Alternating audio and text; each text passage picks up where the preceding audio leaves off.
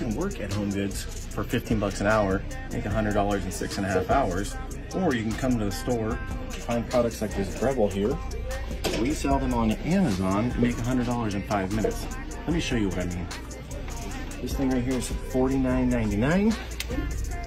As you can see, our Amazon seller app, this product is going for $99.99 on Amazon.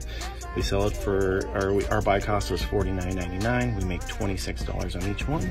It's $104 profit in five minutes, guys. Don't work for the man, work for yourself.